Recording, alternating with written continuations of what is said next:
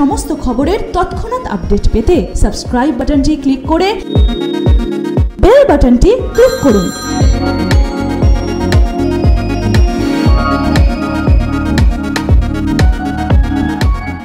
আরও খবরের আপডেট পেতে সাবস্ক্রাইব করুন আমাদের ইউটিউব চ্যানেলটি আর বেল আইকনে ক্লিক করুন নোটিফিকেশনস পেতে। আমাদের রাজ্য থেকে রাজ্য থেকে দীর্ঘদিন ধরে দলের কাজকর্মে অসম্মতি পাওয়ায় দল থেকে সাসপেন্ড করা হলো বেশ কয়েকজন তৃণমূল পদাধিকারী নেতৃত্বকে। আজ জেলা সভাপতি সৌমেন মহাপাত্র সাংবাদিক বৈঠক করে জানিয়ে দিলেন যে শহীদ মাতঙ্গিনী ব্লকের সভাপতি দিবাকর জানা জেলা পরিষদের সদস্য তনুশ্রী জানা সহ বেশ কয়েকজন জনপ্রতিনিধিকে দল থেকে তিন বছরের জন্য সাসপেন্ড করা হলো।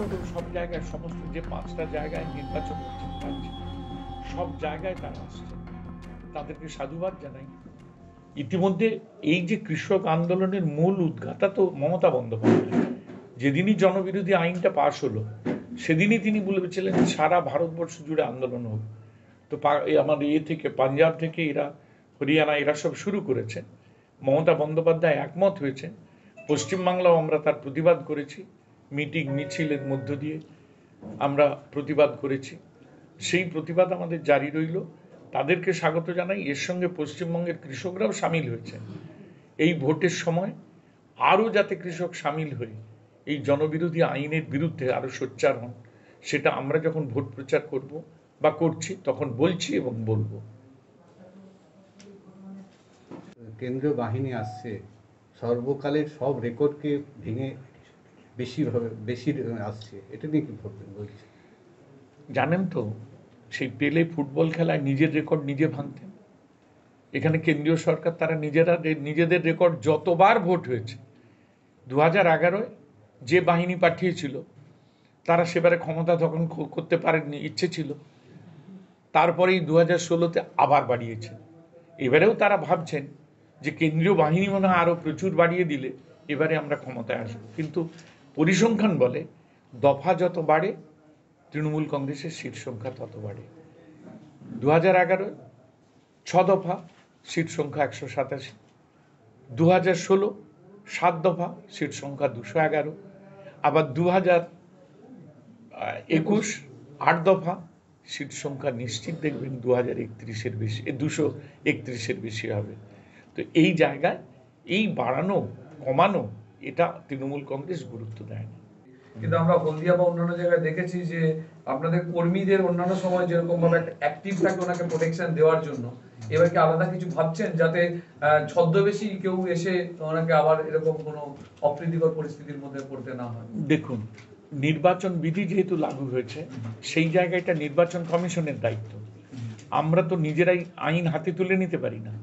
আমাদের স্বেচ্ছাসেবকরা, আমাদের যে মিটিং আমরা আহ্বান করব তাতে থাকবেন। কিন্তু নিরাপত্তার ব্যাপারে মুখ্যমন্ত্রীর নিরাপত্তা বিশেষ করে, সেই জায়গায় আমাদের স্বেচ্ছাসেবকের কতটা অধিকার আছে, সেটা আমাদের জানা নেই। নিশ্চিত করে আমরা চাইব এই অপ্রীতিকর ঘটনা ঘটবে না। কারণ নির্বাচন কমিশনের হাতে এখন প্রশাসন। তারা তো বলেছেন যে অবাধ নির্বাচন হবে, শান্তিপূর্ণ নির্বাচন হবে। তো প্রচারের ক্ষেত্রে একজন মুখ্যমন্ত্রী বাধা পাবে, এটা তো অনভিপ্রেত। আশা করব এর পুনরাবৃত্তি ঘটবে না। তার ক্ষেত্রে তার প্রতিরক্ষা বলয় যতটা নেওয়ার দরকার সেটা নির্বাচন কমিশন নেবেন। সেটাকে আপনি সাসপেন্ড হিসেবেই ধরে নিতে পারবেন।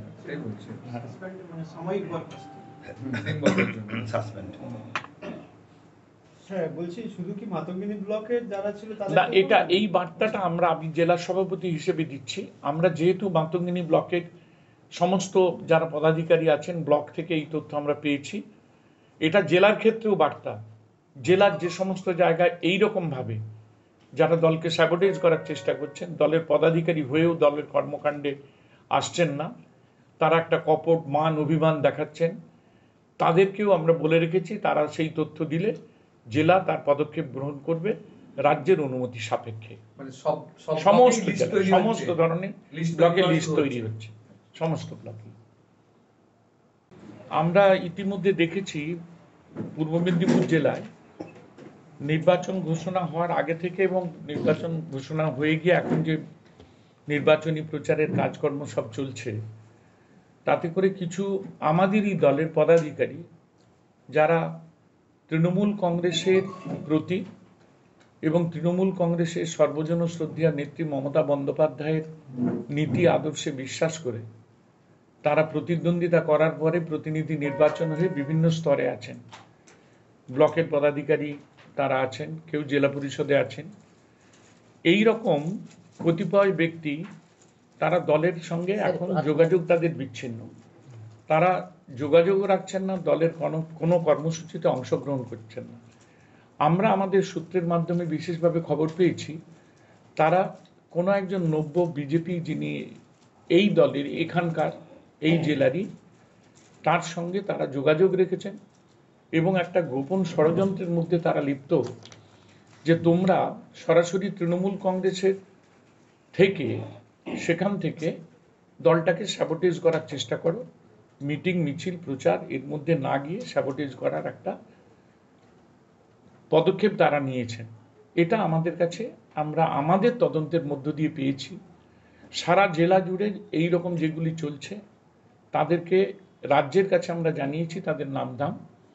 ইতিমধ্যে শহীদ মাতঙ্গিনী ব্লক, সেই ব্লকের কিছু পদাধিকারী, তারা দলের কোনো কাজকর্মের সঙ্গে যোগাযোগ না রেখে দলীয় চেয়ারে বসেই সেখানে ভোটারদের প্রভাবিত করছেন। দিব্যেন্দুবাবু সেভাবে আমাদের সঙ্গে কোনো যোগাযোগ রাখেননি। আর যেহেতু তিনি সাংসদ, তার যোগাযোগ তিনি হয়তো রাজ্য স্তরের যেহেতু নেতৃত্ব, তিনি সেখানে যোগাযোগ রেখেছেন। তবে আমাদের কাছে কোনোভাবে যোগাযোগ তিনি রাখেননি। আমরা কিন্তু যোগাযোগ রাখার যে এলাকায় যখন তার বিশেষ করে সাংসদ এলাকায় যখন যা কর্মকাণ্ড হচ্ছে সেখানকার ব্লক সেখানকার অঞ্চল তারা তাকে অবগত করার চেষ্টা করেছেন। তৎসত্ত্বেও তিনি কোনো যোগাযোগ রাখেননি। মুখ্যমন্ত্রী কাল থেকে প্রচার শুরু করছে ঝাড়গ্রাম থেকে সোমবার তো পূর্ব মেদিনীপুরের ব্যাপারে? পূর্ব মেদিনীপুর থেকে দিগ্বিজয় মাহালির রিপোর্ট এনএম নিউজ। আপনারা তো জানেন যে একটা দুর্ঘটনা ঘটেছে। তবে দুর্ঘটনাটা যদি এমনি হতো তাহলে সেটা আমাদের কাছে কোনো আশঙ্কার কারণ ছিল না।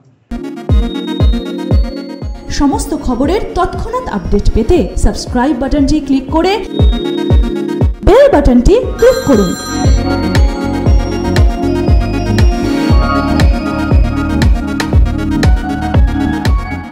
আরও খবরের আপডেট পেতে সাবস্ক্রাইব করুন আমাদের ইউটিউব চ্যানেলটি। আর বেল আইকনে ক্লিক করুন নোটিফিকেশনস পেতে।